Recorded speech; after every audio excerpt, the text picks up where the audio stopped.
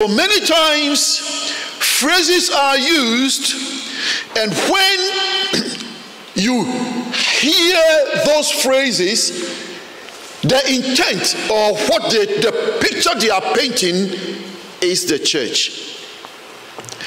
That is the reason why someone said that the meaning of seek first the kingdom of God and its righteousness, and all these things will be added to you, meant that you seek first the interest of the church. So they'll say the interest of the church should come first. Because they have put the church as the kingdom